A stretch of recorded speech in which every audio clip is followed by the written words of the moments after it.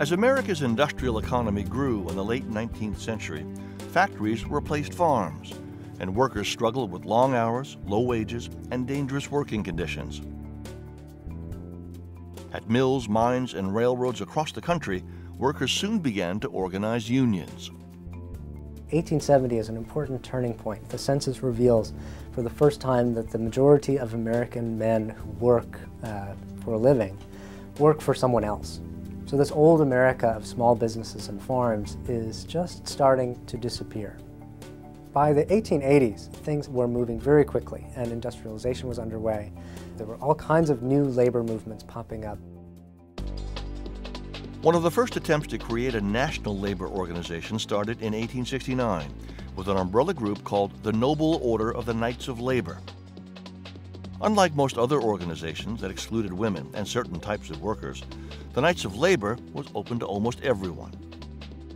It's essentially a union of unions and uh, eventually has hundreds of, of, member unions, eventually a membership of almost 700,000 by 1886, 1887 and it becomes a very influential force in trying to compel employers and politicians who have the power to regulate business to get them to adopt more humane working conditions, better wages, shorter hours.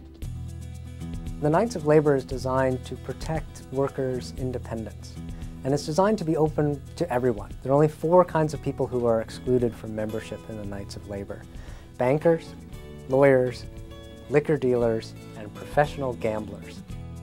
Though the Knights initially had lofty goals to reform the American economy, its power began to fade in 1886 after a railroad company squashed the workers' effort to strike.